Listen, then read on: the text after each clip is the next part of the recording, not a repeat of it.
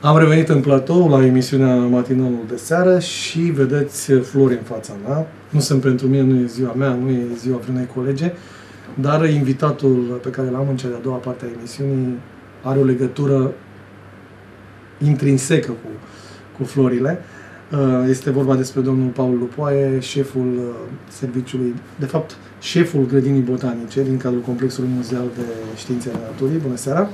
Bună seara dumneavoastră și telespectatorilor Express TV. Bine ați revenit, nu ne-am mai văzut uh, de multișor și uh, care este istoria, scurta istorie acestui uh, super buchet de flori? Uh, istoria pot să spun că este scurtă pentru că colegii mei, în momentul în care au aflat că avem o invitație la Express TV, uh, s-au mobilizat și au realizat un aranjament pe care vi-l dăruim cu mare drag. Să-l aveți aici. Vă mulțumim din suflet. Ce flori fac parte din acest E vorba de niște trandafiri, din uh, teia hibrida, respectiv Monica, ca și soi, niște crini și celelalte elemente care compun șeflera, niște ferigă, asparagos, un aranjament uh, clasic, dar uh, zic eu dăruit cu mare drag pentru dumneavoastră. Um, am să-l ofer și așa mi se pare și nouă colegii noastre, Florina Nedelcu, și ea se va bucura pentru că este și ea o mare iubitoare a florilor. De fapt, care femeie nu este iubitoare a florilor? Așa se pare ceva anormal. Așa este. În general, femeile sunt mai iubitoare decât noi eh, bărbații, dar pot să vă spun că în grădina botanică am întâlnit și întâlnesc zi de zi eh, bărbați care sunt eh, foarte interesați de a afla câte ceva, de a amănunte respectiv despre o plantă, despre o floare în general, despre un copac. Așa că cred eu că până la urmă există o balanță aici care uh, se poate echilibra femei, bărbați, aș zice eu, iubitori de frumos până la urmă, de natură, de tot ceea ce înseamnă uh, grădina botanică. De, de altfel, aici ne referim în acest sector. Soția mea este o mare iubitoare a florilor. De fapt, uh, la noi în apartament este o mini grădină botanică. Avem foarte multe flori și este pur și simplu fascinată și prima grijă când vine acasă este să udă florile. Deci, indiferent cât de obosit ar fi, trebuie să o defloricele. Trebuie să recunosc că din punctul acesta de vedere îmi fac mea culpa, eu sunt uh, mai uituc, așa chiar dacă am spus. Da, să... da. Aici să știți că trebuie să completez ceva. Ideea de grădină botanică uh, e o idee uh, care s-a implementat în Galați începând cu 1990 ca și proiect, dar terminologia folosită grădină botanică nu poate să fie abordată oricum, oriunde și în orice fel de condiții. Da, sigur, nu, am făcut o glumă, fiecare... bineînțeles că e mini grădină botanică, pentru că nu avem plan. Nu, dar este important să vă spun un aspect și cred că gălățenii ar trebui să fie, să spun eu, mândri de treaba asta, pentru că în Galați există o grădină botanică, au fost făcute demersuri și de alte, uh, să zicem, instituții, cum ar fi primării, uh, de la Ploiești, spre exemplu, din uh, județul Constanța, mai exact de la Techirghiol, Ehm, și chiar au uh, avut un proiect în acest sens de a înființa o grădină botanică. În schimb, ehm, trebuie să vă spun că nu au primit încă statutul de grădină botanică, pentru că uh, trebuie să îndeplinite o serie de condiții, o serie de criterii care țin atât de parte, în special de partea de conservare și, bineînțeles, de partea științifică. Toate aceste două lucruri sunt, se întrepătrund și, în același timp, uh, specialiștii care lucrează într-o grădină botanică, echipa de specialiști, uh, fără de care nu se poate uh, implementa un așa proiect uh, ca și grădină botanică. Câte Exist... grădini botanice sunt în România? Există? În România, dacă vreți să le iau într-o, într-o ordine a vechimii și, bineînțeles, și din punct de vedere al importanței, importanței științifice, din punct de vedere al speciilor care sunt conservate, Aș începe cu grădina botanică din Iași, care are peste 150 de ani. Uh, imediat uh, urmează grădina botanică din Cluj, apoi București. Deci, iată, avem trei mari grădini botanice și uh, din urmă, să spun, vin alte grădini. Mă refer la grădina botanică din Craiova, înființată undeva prin 1972-73, grădina botanică din Jibou, județul Sălaj, tot cam prin același an, înființată, uh, grădina botanică din Târgu Mureș, care s-a înființat cu statutul de grădină botanică după 1990 și aparține Facultății de Medicină și Farmacie din cadrul Universității de Medicină și Farmacie din Târgu Mureș și aș spune eu la urmă, dar să zic cea mai tânără grădină botanică, grădina botanică din Galați, înființată, după cum spuneam la început, după 1990, mai exact, începând cu 1995, s-au făcut primele plantări. Mai uh, există și uh, un parc dendrologic la Bididia în orașul Tulcea. Uh, e un complex Bididia, știți cu siguranță, însă nu au derulat după ce s-au înscris într-o asociație, și o să vă povestesc despre ce asociație profesională este vorba, nu și-au dus, să spunem, la îndeplinire toate criteriile care să o ateste ca și grădină botanică. E, toate aceste grădini de care vă povestesc, inclusiv Galațiu, facem parte dintr-o asociație profesională care se numește Asociația Grădinilor Botanice din România și asociația la rândul ei este, face, este afiliată unei asociații a grădinilor botanice din Europa. Deci un statut care, pe care trebuie să-l păstrăm, să-l dezvoltăm în continuare și uh, aș putea spune că după 20 de ani, noi, Galațiu, uh, mai exact după 23 de ani de plantări, s-a reușit, uh, să spunem, conservarea unui număr de specii pe o perioadă scurtă de timp, care să facă dovada că merită să aibă un statut de grădină. Dacă am socotit eu bine când ați enumerat grădinile botanice din România, grădina botanică din Galați se află pe același loc pe care se afla Galațiul la număr de populație, pe locul 7 da. în țară, nu? Da, da. E o coincidență, dar... Uh, da, da. Spuneam că gălățenii ar fi, trebuie să fie mândri de acest aspect. O grădină botanică nu se construiește ușor, nu numai că înseamnă timp, înseamnă și uh, fonduri care să vă... Din ce an v-ați alăturat echipei de la grădina botanică? În 1996. Deci am... la un an... Uh, da. De, de la primele plantări care s-au realizat în 1995. Unul dintre de promotorul uh, realizării unei grădini botanice în Galați a fost doamna Aurora Marco, nu? Sigur că da. Deci dumneavoastră a fost directorul um, complexului muzeal, pentru că această grădină botanică este o secție a complexului muzeal de științele naturii, așa cum este și secția Parc Zoologic de la Găpoabele sau secția muzeu în cadrul complexului muzeal. Bineînțeles, ei a fost uh, uh, omul care a reușit să adune la oaltă specialiști, deopotrivă, dar și uh, oameni uh, care au decis și care au adus finanțare, mă refer la Consiliul Județului Galați, oameni care au înțeles uh, că trebuie să facă ceva frumos într-o zonă, adică pe o suprafață de 18 hectare, unde nu era nimic. Era un teren liber, era un teren care, dacă nu ar fi fost luat la vremea respectivă, cu siguranță avea o altă destinație astăzi. Și uh, ușor, ușor uh, s-a reușit cu sprijinul Consiliului Județean, ca și sau era, sau era lăsat în paraj, nu trebuie să mai obișnuiește Sau era lăsat în paraj, România. Da, da.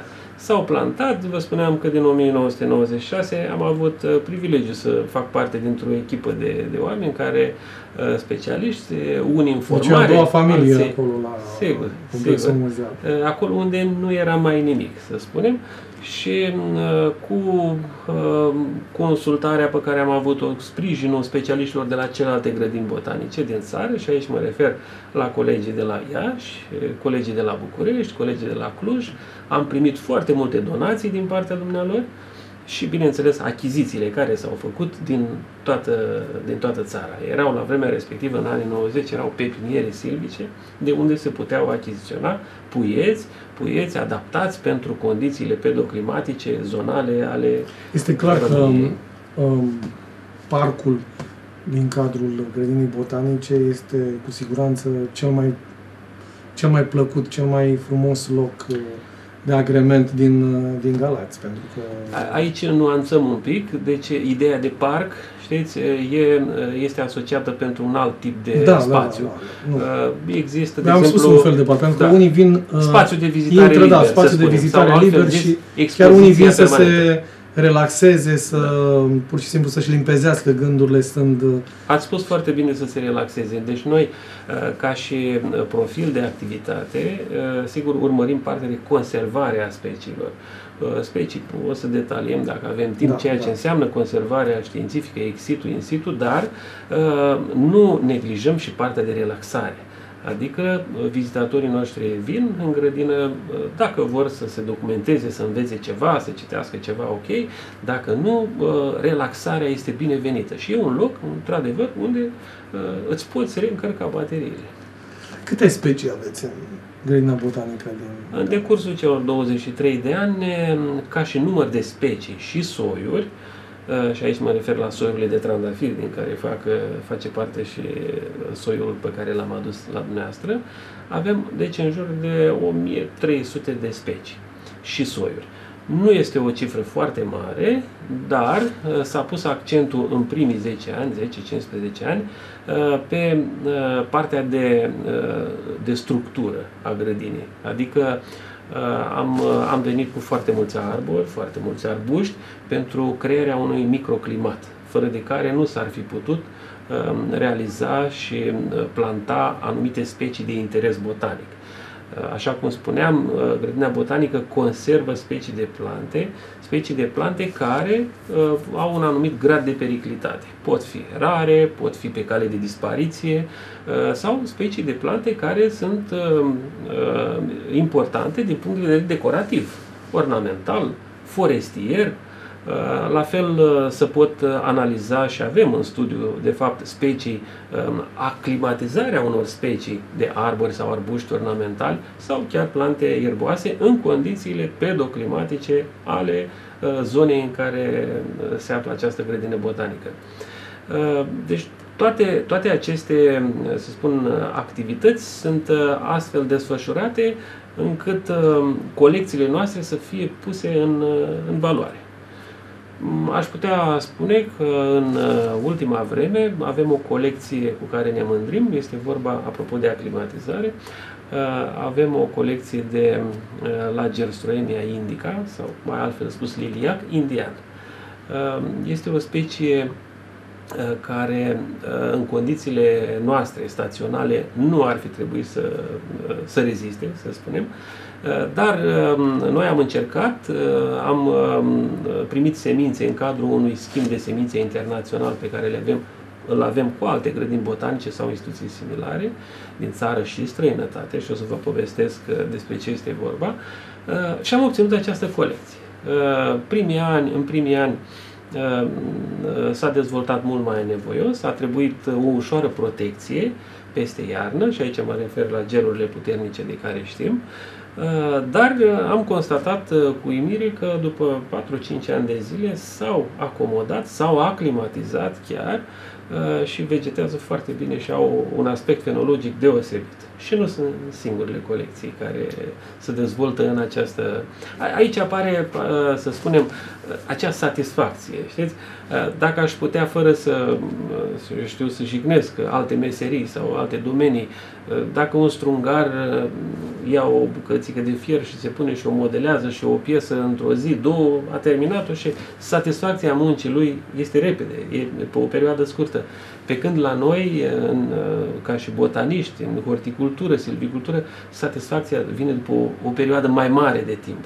Atunci când vezi că un arbore sau un arbus se dezvoltă, fructifică, atunci satisfacția e pe, pe măsură e un alt, un alt aspect. să sunteți inginer horticol. Eu am făcut horticultură la Iași, master în horticultură, liceu de silvicultură, așa, și într-un final doctorat pe științe inginerești, mai exact plante acvatice și palustre din zona României.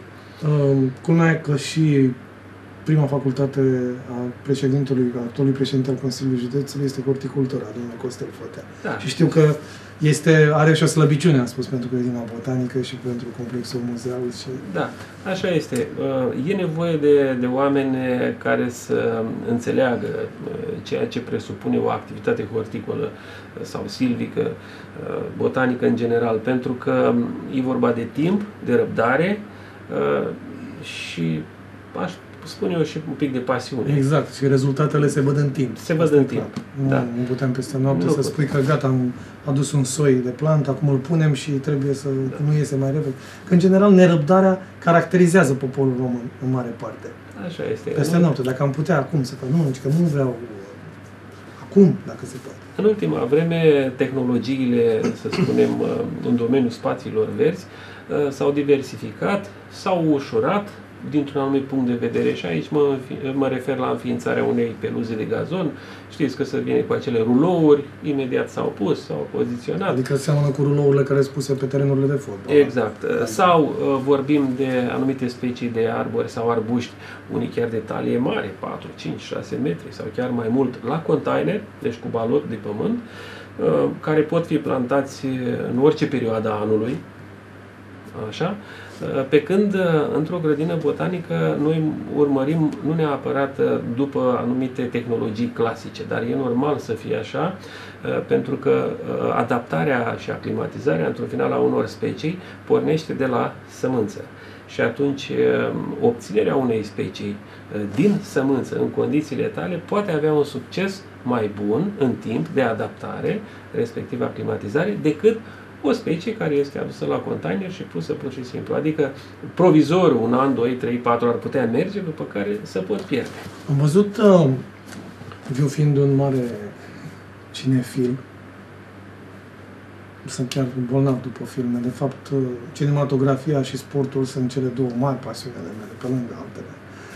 Și um, am văzut două filme, sunt și pasionat de genul science fiction, pe pentru că este foarte interesant. Nu plac atât de mult cărțile, romanele science fiction, ci filme. Uh-huh. Romanele le prefer pe cele clasice. Le, um, și am văzut două filme, cu siguranță că le-ați văzut și dumneavoastră, Marțianul, uh-huh. când uh, personajul interpretat de Matt Damon a reușit să improvizeze o seră uh-huh. la acea stație spațială pe Marte, uh-huh. și Pasagerii, când tot la fel aveau acolo, au reușit cei doi uh, pe acea stație orbitală să amenajeze o seră.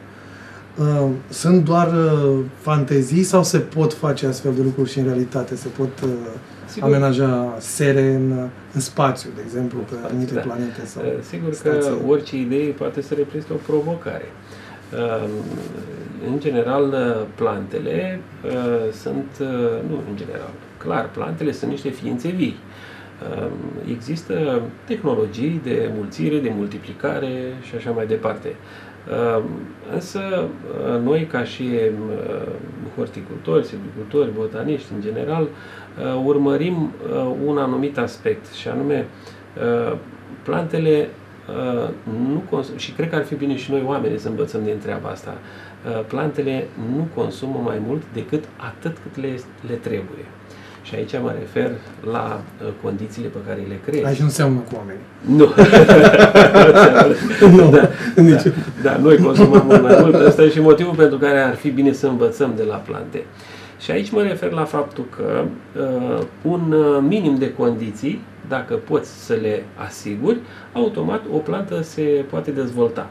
Și ca să fiu mai uh, concret, ca să vedeți ce înseamnă lumea asta vie, a plantelor, am să vă spun că la Parcul Național Munții Măcinului, știți cu siguranță, peste Dunăre, am participat împreună cu o echipă cu colegi la realizarea unui proiect, mai exact un spațiu expozițional, în care am avut de reprodus 8 habitate din regiunea Munților Măcin, și, bineînțeles, în spațiu expozițional aceste plante trebuiau herborizate uscate, presate, aranjate și introduse în expoziția respectivă, alături de fauna respectivă. Ehm, vreau să vă spun că am avut o, cum spun, o uimire de, cu toții. Ehm, plantele, unele plante și mă refer la cele la crasulacie, deci plantele care au acele frunze mai groase, mai cărnoase, așa cum ar putea fi agavele, spre exemplu, ca și termen de compara comparație, au niște capacități fantastice de supraviețuire. Uh, noi am uh, recoltat din munții Măcinului Uh, o uh, plantă, uh, se numește crasula zeleborii, deci o plantuță micuță care trăiește printre pietre, printre așa, și am luat-o și am conservat-o. Am scos-o cu tot, nu așa, deci rădăcinile au fost tăiate, a fost ținută la presat, ba mai mult am tratat-o cu tot felul de substanțe pentru ca să reziste în expoziție, știți, să fie așa. Am introdus-o după câteva luni de zile în expoziție și în momentul în care asta se întâmpla undeva prin luna, cred eu, prin luna august, așa, în luna octombrie, când uh, s-a făcut deschiderea oficială, am fost și noi invitați, am avut uh, surpriza plăcută să văd că acea plantă a înflorit. Extraordinar. Deci și-a format, ea fiind foarte micuță, așa, și-a format o tijă florală și cu niște uh, floricele. Deci, o capacitate... E adevărat că, um, auzisem asta, era mai mult o legendă, că florile, plantele înfloresc atunci când se simte extraordinar în mediul respectiv, când uh, pur și simplu, e ca și cum spuneau, era exista acea metaforă că o persoană a înflorit, fiind uh, da, strălucitoare în acel mediu. Este adevărat ce spuneți, dar mai e și un alt aspect. Și în condiții extreme, planta respectivă, atunci când simte că lucrurile nu sunt chiar bune, um, produce semințe. Și am uh, un alt exemplu, la grădina botanică, la noi, la Galați, am adus uh, foarte multe exemplare de molid. Molid, adus din uh, zona Niculițel, județul Tulcea, cu balot de pământ și așa mai departe. Unele exemplare, sigur, prinderea a fost destul de importantă, bună, dar unele exemplare au început să lâncezească. Erau într-o stare care nu îi mai dădei șanse de cu toate intervențiile pe care le făceam noi. Vreau să vă spun că în momentul respectiv erau pline exemplare de conuri. Conuri care produceau normal semințe și automat, deci planta a simțit că uh, nu mai se poate dezvolta în continuare și uh, produce pentru perpetuarea speciei, dacă vreți să spun mai departe. Așa și cu zeleborii, uh, planta care vă spuneam din expoziția de la din, uh, din cunoștințele mele și din ceea ce văzusem, de fapt mi-aduc aminte din, din școala generală că atunci când făceam orele de botanică cu doamna profesor, fost director al școlii numărul 21 din Gala Zona Aneste, Dumnezeu să ierte, un specialist, uh, un specialist important în, și în botanică și în anatomie, Uh, la un moment dat uh, trebuia să facem și un ierbar. Am reușit să-l fac cu greu. Eu nu eram cu plantele, mie îmi plăceau mai mult animăluțele și celelalte. Pentru mine a fost un calvar. Dar mi-aduc aminte cât de frumos era când ne duceam la cules de floricele și când mergeam și cu învățătorul nostru, apoi mai târziu cu profesorii. Dar, uh, să spunem, în conștiința, în conștiința universală a intrat faptul că uh, Floarea de colț este planta care se adaptează cel mai bine mediului și crește în orice condiții. Uh, dar nu, e doar o legendă. Mm, da, așa este, e o legendă pentru că să știți că noi am încercat la, la grădină să am avut câteva exemplare aduse de cineva din zona montană, așa cum să, să știe faptul că Leontopodium alpinum, floarea de colț, uh, trăiește în zone foarte înalte, deci la o altitudine de peste 1500-2000 de metri în masivul Bucești, de exemplu, se pot întâlni foarte multe exemplare, foarte multe zone în care vegetează bine. Între timp, tehnologiile moderne au, au reușit să, să, să obțină, prin diferite încrucișări, hibridizări și așa mai departe, anumite soiuri de floare de colț care pot rezista în altfel de condiții decât cele de acolo. Dar dacă ne referim la specia tipică, Leontopodium alpinum, nu rezistă în, în orice condiții, decât acolo. Iar lucrurile aici sunt foarte, foarte clare. Am înțeles. Da. Așa este, în ultima vreme tehnologiile s-au diversificat. Ați văzut și în zona noastră foarte multe mușcate curgătoare, spre exemplu, care nu le vedeam decât în zona montană, când ne plimbam la diferite căbănuțe, nu vedeam acolo și le admiram. E, acum au apărut și la noi. Deci sunt soiuri, sunt varietăți obținute care s-au adaptat și pentru alte condiții climatice. Um, vorbeam într-una din emisiunile trecute cu managerul Complexului Muzeal de Științele Naturii, biologul Mădălin Șerban, um, despre lucrările pe care știu trebuie să le realizați la serele pe care le aveți, în ce stadiu se află și uh, când ar, când ar, uh, ar trebui demarate aceste lucrări? Și când se preconizează acest Sigur, din punctul nostru de vedere, uh, suntem pregătiți oricând să putem participa așa cum este normal. Uh, la uh, cum să spun, implementarea acestui proiect deosebit de important pentru o grădină botanică. Peste tot în lume, orice grădină botanică are o seră, mai mică sau mai mare. Uh, la noi știți că am avut o seră mai veche, în care au fost provizor plantate specii de plante exotice, însă din anul 2012, vă amintiți, a fost o grindină mai puternică și atunci Uh, spațiul respectiv a fost distrus aproape în totalitate A fost o adevărată tragedie. Da, și Mai a ales trebuit... din punct de vedere al specialiștilor. Da, da. Și a trebuit uh, să construim repede un spațiu provizoriu, la fel, în care să adăpostim acest uh, patrimoniu de, de plante din alte regiuni ale globului.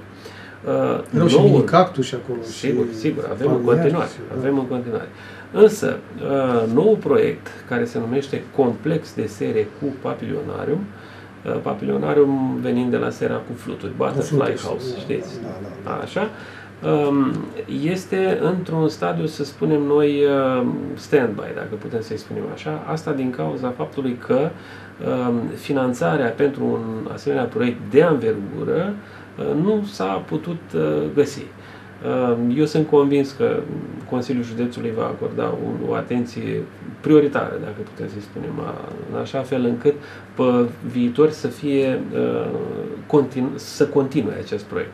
Stadiul în care a rămas e unul de infrastructură. Și în ce va consta acest proiect? În construirea unei sere de mari dimensiuni?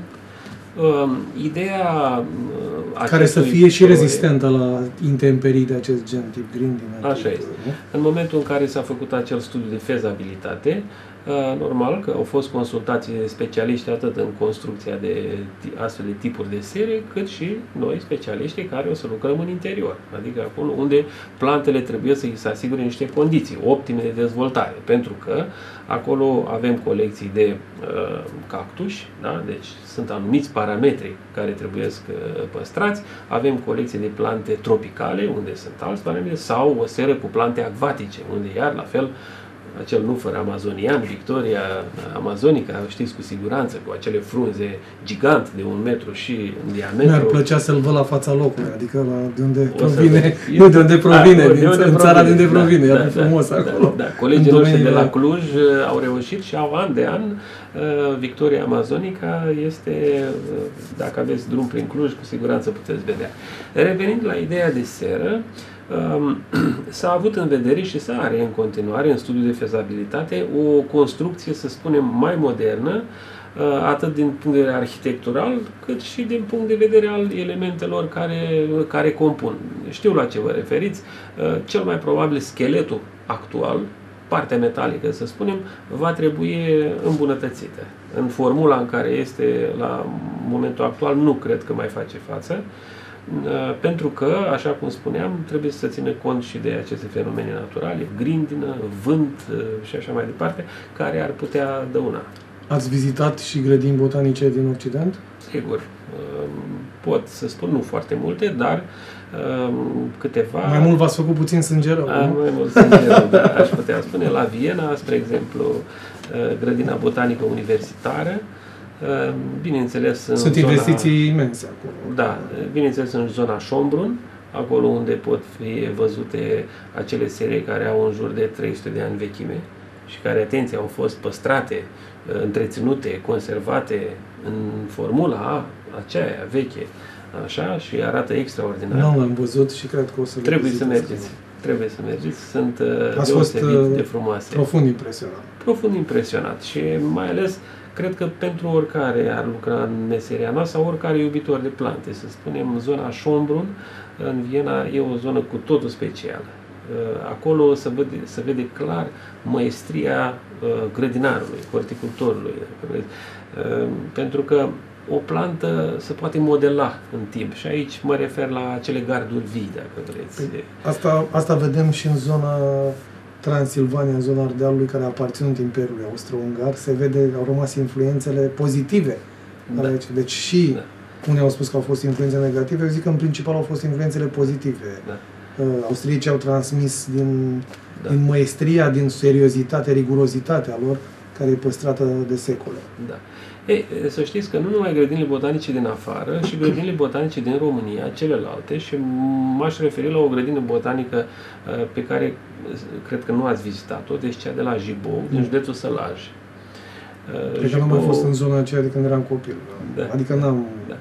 o, mai ajuns O zonă, aș spune eu, din punct de vedere industrial și așa mai puțin dezvoltată, în schimb partea de agricultură, într-o formă sau alta, în schimb, această grădină botanică înființată prin 71-72 de către un profesor de biologie din uh, zona respectivă, Fati îl chema, un mare pasionat de tot ceea ce înseamnă plante și prin natura profesiei pe care o avea, a reușit într-un spațiu, într-un vechi castel, Um, să, să contureze o grădină botanică pe o suprafață de vreo 18 hectare. Ei, și acolo au avut, uh, referitor la gardurile vii și la cum pot fi modelate plantele, au avut uh, o moștenire, să spunem, pe suprafața respectivă, niște garduri vii din uh, lemn câinesc, pe care au reușit și le-au modelat în tot felul de forme. Asta vreau să spun eu și să pun în evidență faptul că și la noi, la Galați, de acum încolo, după niște ani când au crescut plantele într-o formă sau alta, um, e necesară o modelare a acestor plante acolo unde este partea ornamentală, mă refer. Vezi? Revenind la Șombrun, există uh, acei platani impresionanți de, la fel, peste 200 de ani, uh, unde sunt toaletați în fiecare an. Uh, sunt create niște tuneluri uh, speciale pe, uh, sub care intre. Sau din... Deci pare ceva de domeniul fantastic. Impresionant. Și acolo se vede că aici nu este o muncă de un an, doi, trei, patru, cinci. Vorbim de o tradiție de zeci, sute de ani, care s-a păstrat și s-a dezvoltat în sensul ăsta. Bineînțeles, aici înseamnă oameni pregătiți, înseamnă utilaje, înseamnă fonduri și așa mai departe. La noi deci, cea mai veche grădină botanică e cea din Iași, nu? Iași, da. Dar să știți că și Clujul, pentru că sunt foarte aproape ca um, din punct de vedere științific, ca și patrimoniu, așa, Clujul are un herbar um, recunoscut în Europa. Este unul dintre cele mai mari herbare din Europa, cu câteva zeci de mii de col de herbar în conservare. Uh, deci stăm bine, să zicem, la, la acest capitol. Suntem apreciați, mă refer în România, ca și grădini, mai ales că aceste grădini botanice aparțin universităților. Înseamnă că dacă ar fi să plecați din Galați, pentru că tot e la modă plecarea din Galați, glumesc aici, înseamnă să-ți alege Clujul, măcar din această perspectivă a meseriei. Uh, nu știu cum să zic dacă aș pleca sau nu aș pleca. Eu nu vă îndemn să uh, plecați, ba, din da. contră, da. Uh, eu zic că ar trebui să punem toți umorul să încercăm să, să unim lucrurile în Galați. Să, și eu sunt convins că să lăsăm foarte... copiilor noștri ceea ce merită. Așa, adică sunt foarte mulți oameni de bine, vă spun. Um, și aici mă refer și în proiectele noastre, dacă o să avem timp o să discutăm, proiectele pe care le-am dezvoltat în cadrul grădinii botanice cu asociații non-guvernamentale dornice de a contribui cu puțin, cât a fost, dar contează foarte mult. Vom începe să vorbim despre aceste proiecte și vom continua pentru că vă mai așteptăm în emisiunea noastră, mai avem timp acum, uh, mai mult de un sfert de oră și să vorbim puțin și despre care e cel mai important proiect pe care îl derulați în ceea ce privește grădina botanică. Aș începe cu ultimul și după aia le amintim și pe, pe celelalte. Așa se începe acum și în CV-ul. da, începe sigur, cu sigur, ce faci la ora sigur, actuală și apoi... Sigur, uh, sigur da. da. Este vorba de o înființare a unei colecții de mini-roze. Uh, cu alte cuvinte, e vorba de uh, trandafiri pitici, Altfel sus botanic, e vorba de roza multiflora, polianta, grupe de polianta, hibrizi de polianta. Deci nu sunt trandafiri pitici. Nu, nu sunt trandafiri pitici. Mai așa pe înțelesul tuturor, e vorba de trandafiri care au o talie undeva la 30, maxim 40 de centimetri înălțime, dar pe o tijă florală au o multitudine de flori. Mai mici, sigur, mai mici, mai mari, funcție de soi. De unde sunt originari? Ca și origine, o pot fi europeană, pentru că, în general, în ultima vreme, aici la noi s-au dezvoltat și s-au obținut foarte multe soiuri, ceea ce vedem noi la acești trandafiri, să știți că sunt obținuți în cadrul unor instituții de cercetare, mă refer la hibridizări, da? prin uh, diferite procedee. Când o să vizioneze emisiunea, soția nu va certa că nu i-am adus ei buchetul, uh, dar i l-am promis Florinei îi și... Facem, îi facem și dumneavoastră și dumneavoastră și uh, invitațiilor dumneavoastră și celorlalți telespectatori Express TV o invitație la Grândea Botanică și acolo putem, putem Anul vedea. acesta n-am fost și am vrea să mergem. Trebuie să mergeți. Revenind la proiectul cu mini roze, um, la intrare dinspre grădina, dinspre biserică, deci poarta nord, așa cum o denumim noi, aveam acolo un uh, rondou uh, perimetral plantat cu un buxus, un gardiu din buxus, și în interior uh, era un soi de trandafir puțin pus în valoare, pentru că acest gardiu s-a ridicat, a crescut și în interior suprafața nu mai era vizitabilă, să spunem.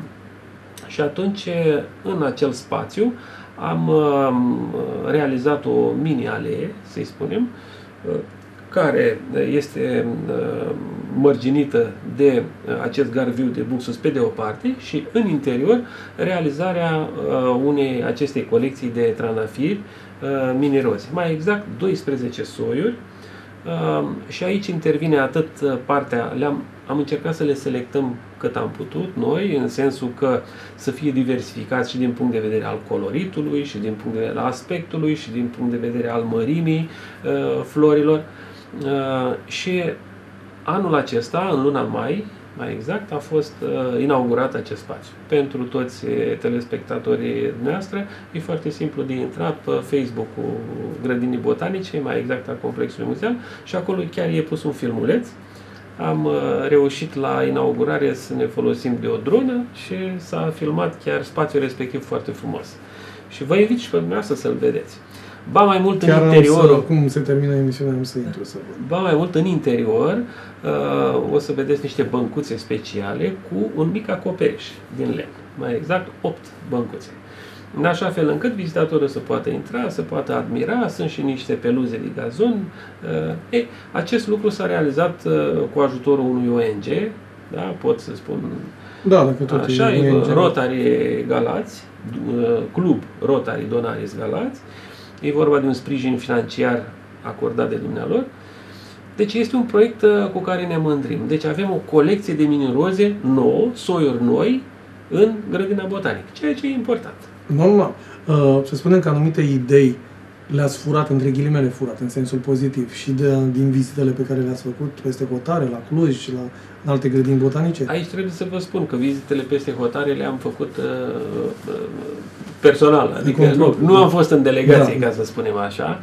E nevoie de asemenea delegații, e nevoie și de schimburi de experiență. Da. Schimburi de experiență, pentru că avem ce învăța, nu trebuie neapărat să facem exact cum a construit cineva, nu știu. Am auzit dar, că în Olanda sunt niște grădini botanice senzaționale, sunt. ca și parcuri zoo. Deci acolo sim, Olanda sim. e cam aproape vârful în Europa da. în ceea ce privește. Nu, nu se compară nimic cu ce există în Statele Unite. Acolo sunt adevărate rezervații. Da. Acolo sunt da, uh, da. rezervații da, botanice, da, nu pot să le mai Dar mai sunt și mai aproape de noi, și la Bulgari, la Balcic, spre exemplu, cine a văzut grădina botanică din Am Balcic, deosebită, o grădină botanică care aparține Universității, um, așa, din Sofia, o, și acest lucru contează foarte mult. Când mă gândesc că acolo la Balcic era teritoriul nostru. Sigur, sigur. Românesc. Sigur, vorbim de Regina Maria. Regina Maria. Acolo, care... acolo au o colecție impresionantă de cactuși, crasulacei în general, o colecție pe care o țin afară. Asta și, și cum reușesc să Datorită faptului că clima este mai blândă iarna decât la noi. E, aici apar, um, să spunem, fiecare grădină cu specificul ei. Poate dezvolta uh, anumite colecții care să pretează pentru zona respectivă. Așa cum la Balcic vă spuneam de cactus, la Galați, în uh, ceea ce am constatat noi, e faptul că colecțiile de trandafiri TEA hibrida, pe care le avem, peste 300 de soiuri, merg foarte bine. Și asta este un, uh, o mândrie pentru noi. Putem să ne lăudăm cu un rozariu frumos în România lucrurile frumoase care există în grădinile botanice sunt însă, din păcate, un pic umbrite de ceea ce lasă omul în paragină, pentru că am fost recent pe litoral și vreau să vă spun că în zona stațiunilor Cap Aurora, Venus, Neptun, Jupiter, lăsate buruiene decât casa, deci oameni care și-au făcut hotelul, au cumpărat hotelul, dar nu știu să îngrijească spațiul din jurul hotelului Așa sau îl neglijează. Așa, Așa ceva, deci nu cred că am văzut vreodată în România atâta neglijență și atâta... Haideți să vă spun uh, referitor la uh, relaționarea asta noastră și cu vizitatorul, pentru că contează foarte mult. Da. Noi putem să construim orice acolo să facem. Dacă vizitatorul nu este atras de treaba asta, cred că mai puțin uh, contează pentru satisfacția meseriei noastre. Și anume, de obicei, în anumite spații, acolo unde sunt colecții de plante cu importanță și așa, nu, nu ai voie să calci, nu ai voie să pui mâna, nu ai voie să tragi, nu ai voie să calci și așa mai departe.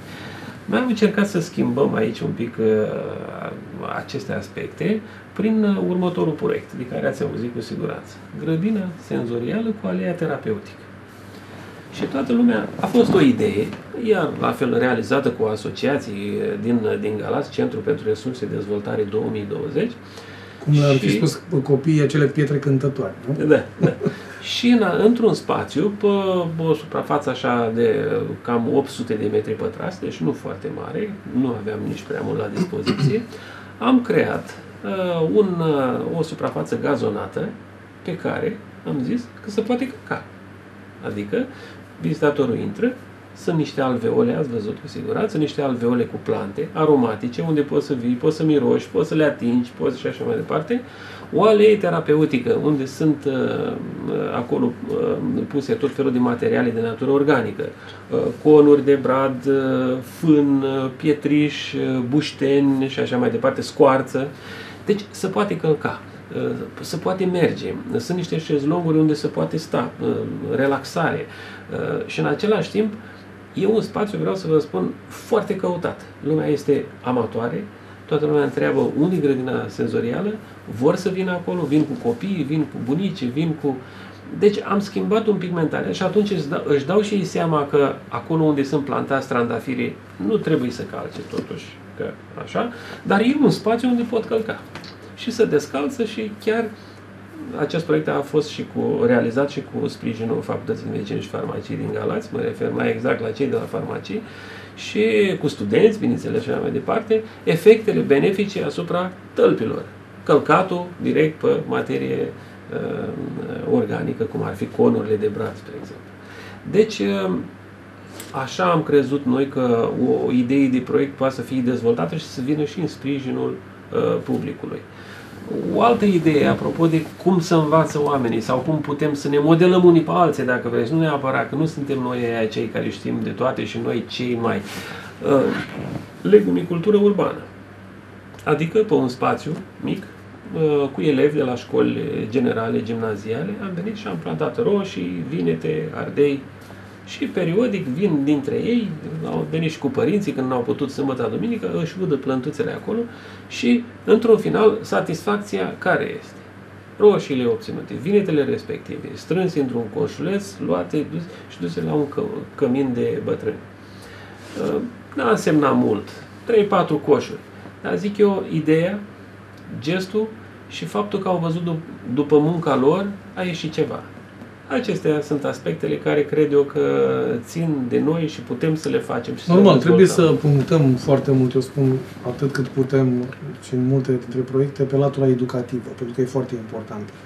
România suferă la această latură educativă și de aici pleacă multe dintre relele care ni se întâmplă, pentru că, uh, nu știu, generațiile noastre, că facem parte că din aceeași generație, uh, acea educație primită în timpul comunismului, așa cum a fost ea, dar a fost extrem de folositoare, pentru că ne-a ghidat, ne-a făcut să simțim, să spunem, uh, foarte frumos ceea ce a spus uh, fostul mare fotbalist Mihai Neșu, care știți ce da, tragedie, da, ce tragedie s-a întâmplat, este imobilizat da, în da. acum încă mai poate să miște mâinile și capul. Am înțeles că faci progres. Și a spus că în viață trebuie să existe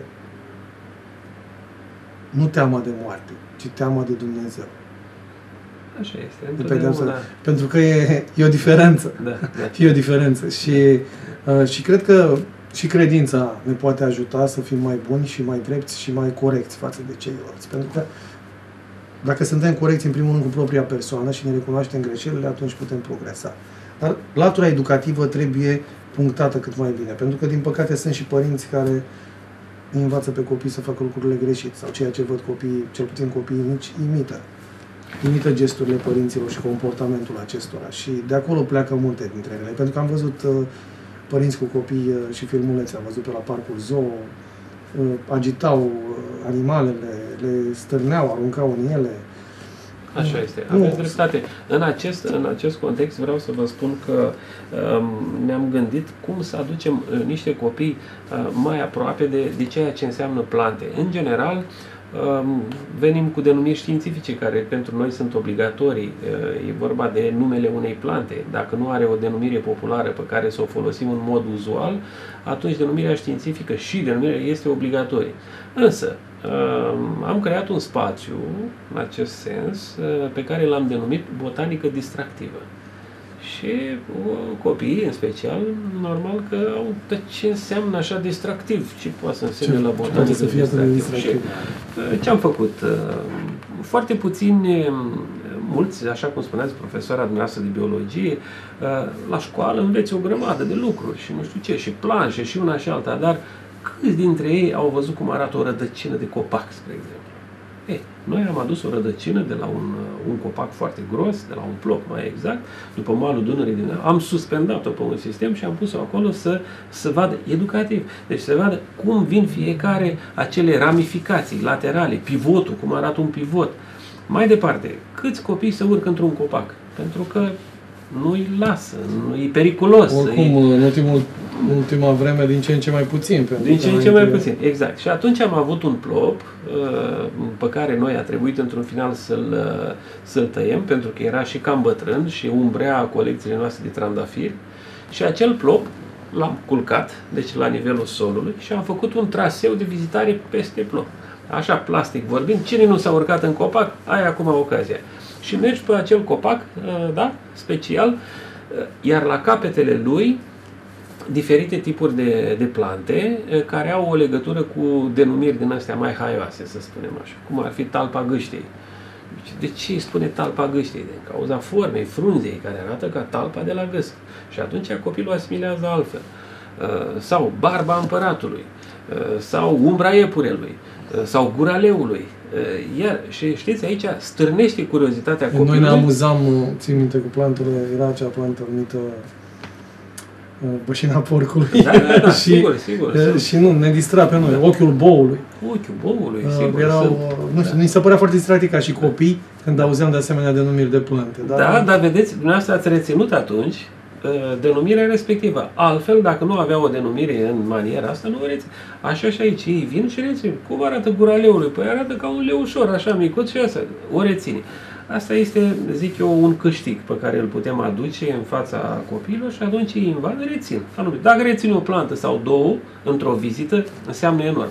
Înseamnă un mare câștig. Un mare câștig, sigur. Uh, eu vă felicit pentru că vă axați și pe această latură educativă, ceea ce este foarte important pentru că grădina botanică este vizitată, media de vârstă este foarte scăzută, pentru că mulți uh, copii vin ori cu, cu învățătoarele, cu profesoarele, cu dirigintele, ori cu părinții, uh, de foarte multe ori. Aproape nu lipsesc copii. Cred că între vizitatorii fiecare zile nu lipsesc copii. Asta cu siguranță. Sunt, sunt foarte mulți. Și ei văd lucruri frumoase și învață lucruri, pentru că s-a spus întotdeauna că românul are o problemă cu practica. Deci ca teoreticieni eram întotdeauna campioni, ca practicieni eram uh, undeva... Și trebuie să... Uh, și cred că și uh, orele de biologie, orele de botanică, trebuie să conțină cât mai multe probe practice pentru, pentru, a, se, pentru a înțelege cu adevărat fenomenul. Pentru că dacă tocim ceva și apoi, și apoi nu știm despre ce este vorba și ne izbim în realitate... Mai avem un program educativ tot în, în ideea dumneavoastră pe care o dezvoltați, Uh, care se numește Hortus. Um, se realizează cu elevi de la școlile gimnaziale, respectiv școala 29, școala 5, școala 28 și vin grupuri de copii, așa, 10-15 uh, copii, bineînțeles cu profesorul de biologie și realizează diferite activități horticole. Și aici mă refer la semănături în seră sau la butășiri butași mici din diferite plante care au posibilitatea de, um, de a se dezvolta mai rapid, tocmai în ideea și atunci ei uh, încep programul în luna februarie și se finalizează în luna iunie. Deci produsul finit în perioada asta apare. Ori plântuța care a răsărit din sămânță, ori butașul a înrădăcinat. Deci, iar la fel este o activitate pe care o dezvoltăm și chiar am ajuns la ediția 19. Deci aceste activități, să spun, educative, educaționale, altfel spus, sunt cele care țin de fișa postului la noi. Trebuie să le facem. Sunteți la aceeași ediție câți ani are Express TV, da? 19 ani și la anul da. împlinim 20. Da, da mulți înainte, că... mulți înainte, da. Și am reușit uh, să rezistăm, pentru că este foarte importantă continuitatea. Ceea ce Așa. în România nu e o regulă. Iată, acum, apropo de continuitate, va fi organizată o ediție jubiliară vestitului festival Cerul de Aur. Da, da, da. Ar fi bine să nu fie doar o ediție jubiliară, să continue acest festival. Dar știu că necesită cheltuieli Așa cheltuieli foarte mari. Bineînțeles, vor fi și călcotași care vor spune că de ce s-a organizat, de ce să se cheltuiască banii. Dacă nu se organizează, spunea de ce nu se mai organizează. Și în România oricum nu poți să-i mulțumești niciodată. Pentru că Așa e. este o țară compusă din oameni care, destui oameni care, li- cărora li se pare că le știu pe toate. Și eu țin la acest aspect de, de dezvoltare și de promovare. Iar dumneavoastră, televiziunea Express TV, aveți un rol important aici. Și în special pentru noi, Grădina Botanică. Pentru că sunt foarte multe activități pe care le derulăm, le desfășurăm și nu știe chiar toată lumea. Și sunt oameni care ar vrea să afle și uite, cu această ocazie și cu altele. Noi așa încercăm cum să, veniți. să Da. diversificăm și să prezentăm aspectele pozitive din toate domeniile. Pentru că sunt, așa sunt. e. Și în sunt primul rând să, activități. să prezentăm activitățile, deci lucrurile pozitive. Lucrurile mai puțin plăcute sunt prezentate și acestea. Nu ne axăm. Deci goana după senzațional care ar, cam ar trebui să înceteze. Dacă vrei să construiești ceva. Pentru că să luăm modelele de, de la ceea ce se întâmplă în Occident. Așa Eu vă e. mulțumesc pentru prezența în emisiune. A fost alături de mine domnul Paul Lupoaie, șeful grădinii botanice din cadrul uh, Complexului Muzeal de Științe ale Naturii. Aceasta a fost emisiunea matinalul de seară. Știțurile mea dintotdeauna, adaptată în 2018, să fiți iubiți de Dumnezeu. La revedere!